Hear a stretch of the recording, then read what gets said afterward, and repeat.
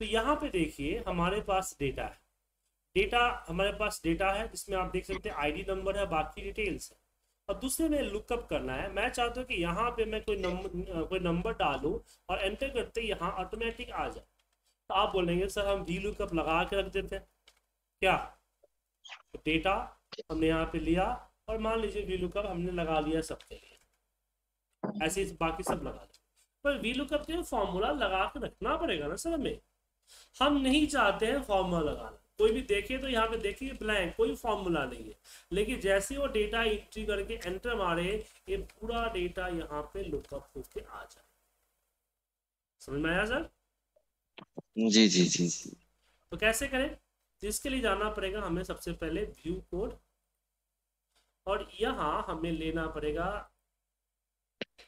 Worksheet और यहाँ होगा चेंज हम टाइप कर रहे हैं तो चेंज ही है ना सर क्या? जी। सबसे पहले कंडीशन होगा कि if target dot column is equal to one ये सबसे पहला है कि भाई हमें कॉलम एन में कॉलम वन में टाइप करने पे हमें रिज़ल्ट आना चाहिए।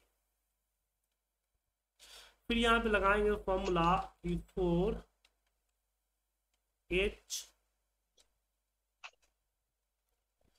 for each नहीं फोर एच नहीं फोर आई कर देते फोर आई इक्वल टू चले one to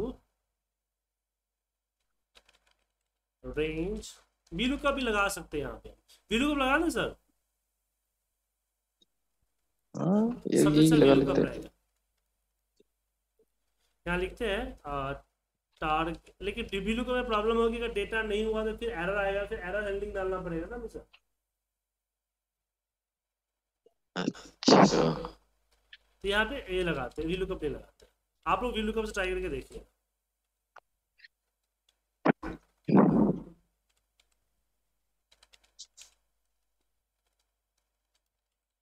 Data dot range colon A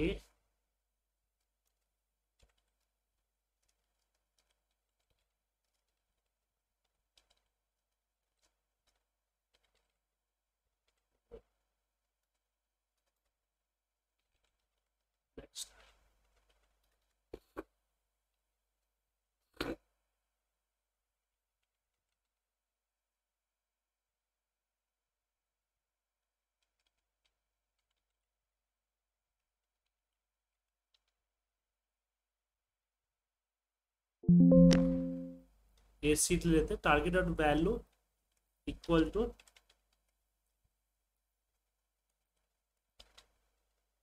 range I dot value then target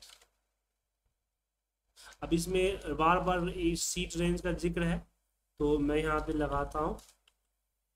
M R H A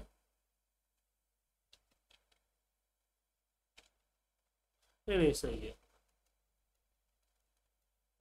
ये सही है।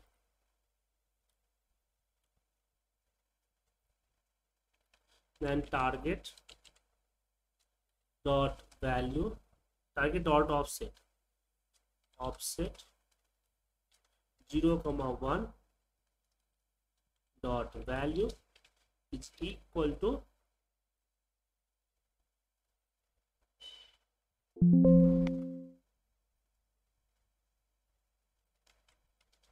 और ए की जगह पे हो जाएगा बी अब इसी को हमें कॉपी कर लेना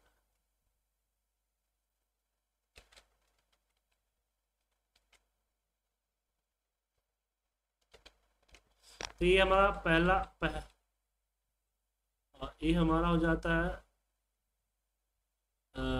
ये हमारा हो गया बी कॉलम नेम के लिए। ये हो जाएगा हमारा सिटी के लिए ये हो जाएगा quarter one, the quarter two, quarter three, and quarter four. मतलब कि जी। एक बार यहाँ पे करके हम एच कर देते हैं। टोटल और यहाँ भी आपका ये हो जाएगा टू ये हो जाएगा थ्री ये हो जाएगा फोर ये हो जाएगा फाइव ये हो जाएगा सिक्स ये हो जाएगा सेवन ये हो जाएगा एट और फिर यहाँ पे लिखेंगे एग्जिट लो एग्जिट टू एग्जिट फोर होगा। क्यों? क्योंकि जिसको मिल गया तो बाकी डेटा चेक करने की क्या ज़रूरत है? मान लीजिए इसको दूसरे नंबर में मिल गया तो बाकी के फिर उसके मान लीजिए दस हज़ार है तो उसको चेक करने की क्या ज़रूरत है? वही से बाहर आ जाए क्या? ठीक है ना?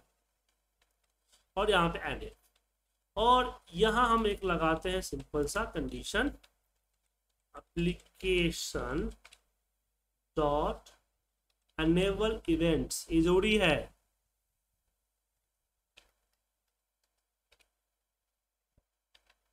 इक्वल टू फॉल्स और फिर नीचे ट्रू करना भी ज़रूरी है। ठीक है?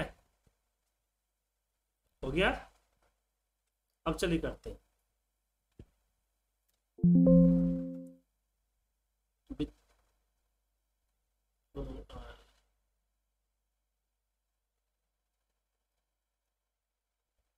Without food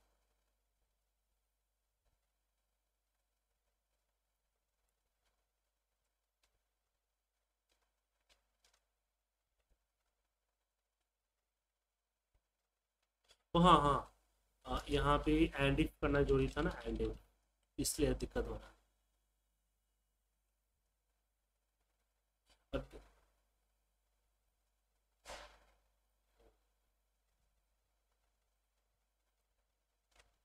आ गया, सर। देखिए। है ना कमाल का, सर?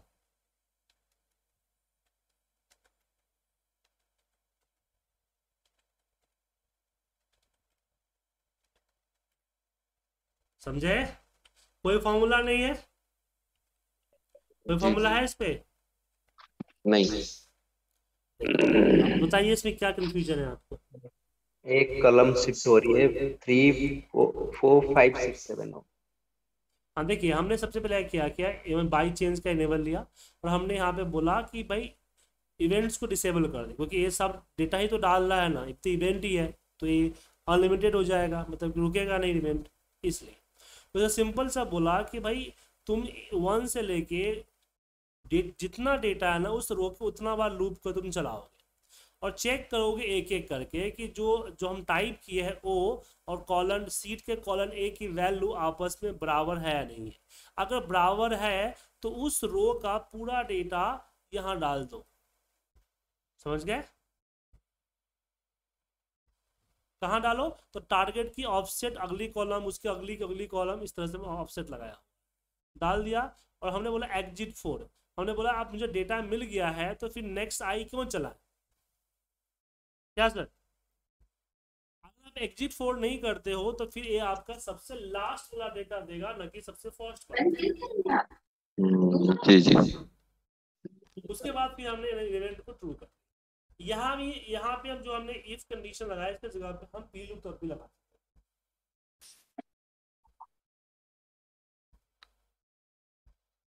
यहाँ देखिए, यहाँ पे क्या है?